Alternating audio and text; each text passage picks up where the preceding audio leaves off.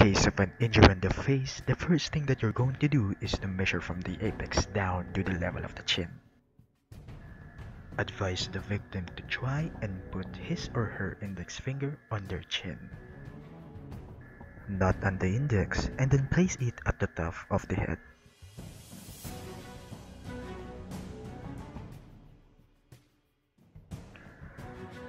Fold the excess part to the level of the chin. Then make a crisscross across the back, but do not apply too tight, so we may strongly apply it later on. Clean the excess, then you're good to go. Well done. Now for the part.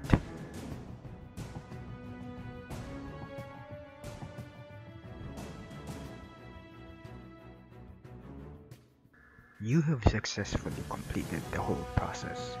Good job.